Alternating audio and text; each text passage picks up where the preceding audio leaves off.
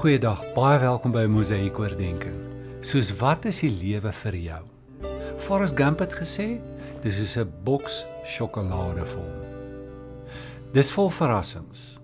Dis oor die algemeen baie lekker, maar so nou en dan dan kry jy daardie bitter sjokolade wat jy maar moet eet en klaarmaak voordat jy weer 'n ander een kan vat.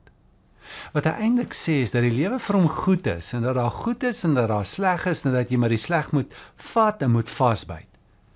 Dis 'n manier om daarna te kyk.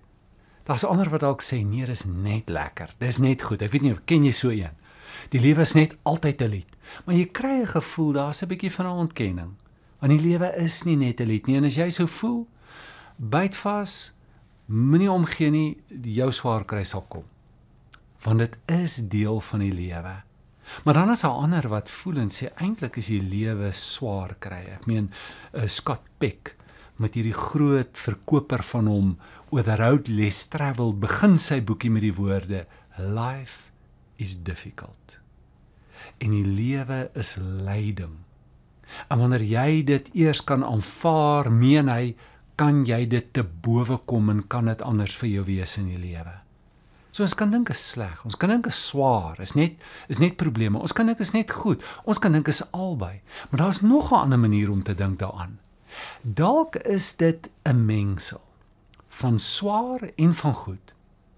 Maar dit hou nie is nie los van mekaar nie. Dit hou verband met mekaar en die een is belangrik vir die ander een. Wat daarvan as dit baie nodig is dat ons deur uitdagings in die lewe gaan.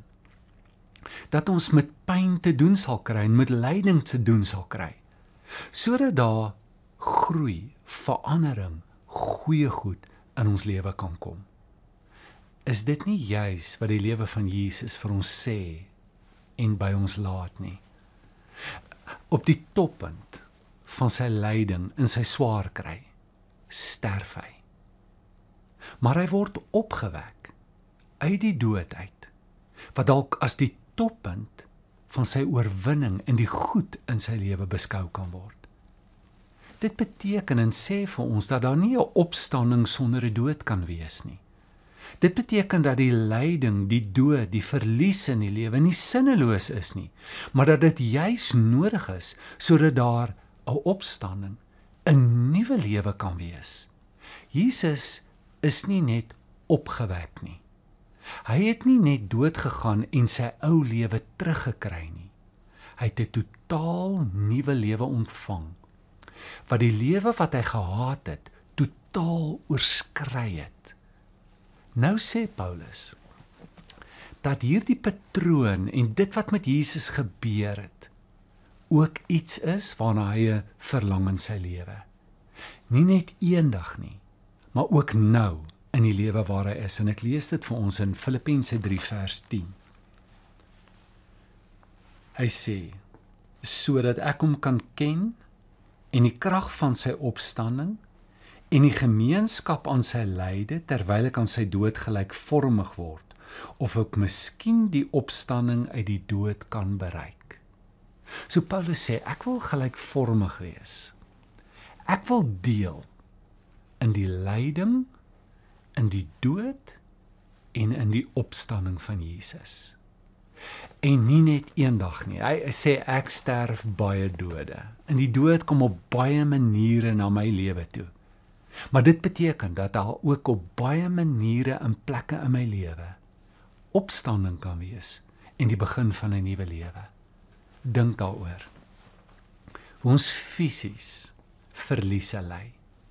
Hoe ons dalk sonder om 'n totale dood te sterf, daar 'n dood kom aan 'n manier van lewe omdat ek dalk 'n deel van my heelheid en gesondheid verloor.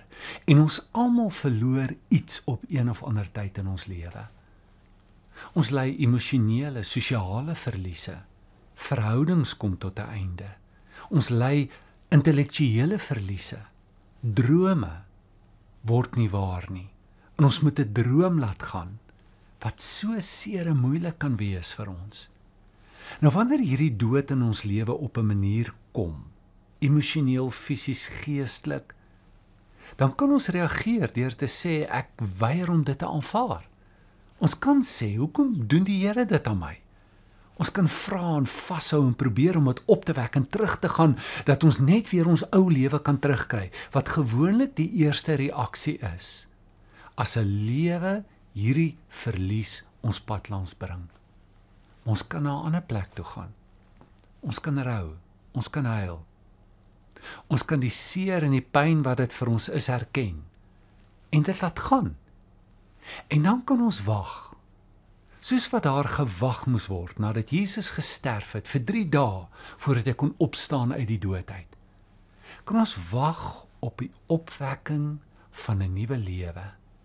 Kan ons 'n periode en 'n fase in ons lewe ingaan waar ons weet dat die verlies wat ons nou gely het nie die einde van ons lewe beteken nie. Wat die verlies ook al is. Kan ons vertrou dat die lewe ons iets beter sal gee as wat ons gehad het. Ruk gelede het ek saam met 'n paartjie op 'n reis gegaan. Toe sy die nuus ontvang het dat sy borskanker het. Sy moes uiteindelik gaan vir 'n mastektomie en dit was baie swaar vir haar en vir haar man gewees. Sy was geskok geweest dat soveel van haar identiteit en haar vrou wees direk gekoppel was aan haar liggaam en aan haar lyf. Dit was baie moeilik vir haar man Hy het gevoel ek kan nie aan haar vat nie en dit het 'n groot skuif in hulle verhouding meegebring. Hulle was op 'n baie moeilike plek op hulle lewe. Albei het nou groot verliese gely en hulle het nie geweet hoe hulle die toekoms sal kan ingaan nie. Hulle het gehuil daaroor. Hulle het afskeid geneem. Maar daar het iets nuuts in hulle verhouding tot stand gekom. Vandag sê hulle dis beter as wat dit ooit was in ons verhouding en in ons lewe in alle opsigte. Hulle moes 'n nuwe lewe ontdek en kry en die Here het dit aan hulle gegee. En so is dit. Met wat ons ook al moet deel in die lewe, dat daar vir ons 'n nuwe lewe lê saam met hom. So ons kan laat gaan as ons kan wag, as ons kan ontvang uit sy hand uit. Kom ons bid saam. Hemelse Vader, ons dankie vir die lewe wat U vir ons gegee het. Ons dankie ook dat daar soveel is wat na ons toe kom in hierdie lewe. Ons vra U ook vandag om ons te help met die verliese en dalk sit ons nou met 'n groot verlies in ons lewe wat so moeilik is vir ons om te aanvaar. Ons weet nie hoe ons ooit sal kan leef sonder dit wat ons nou verloor het nie. Maar dankie dat ons kan weet dat U met ons is En dankie dat U ons vertroos, ons bystaan, ons help om afskeid te neem en dit te laat gaan. Maar vul ons ook met hoop, met 'n sensitiwiteit, met 'n kreatiwiteit om die nuwe moontlikhede wat nou daar vir ons is te kan raak sien, om te kan ontvang en om in te kan stap in die nuwe lewe wat U vir ons het. Ek vra dit in die naam van Jesus. Amen.